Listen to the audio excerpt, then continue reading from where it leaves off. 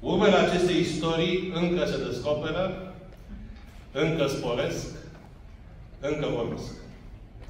Poate nicăieri în tot restul Dobrogei nu există o armonie mai firească între trecut, prezent și viitor, decât în Constanța, vechea cetate a Torisului, capitala culturală, spirituală, istorică și turistică a Dobrogei.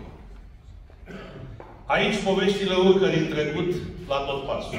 Aici arheologii aduc periodic la lumină poveștile trecutului. Tot ceea ce se construiește sau se reconstruiește în orașul Constanța atinge vechile lui temelii.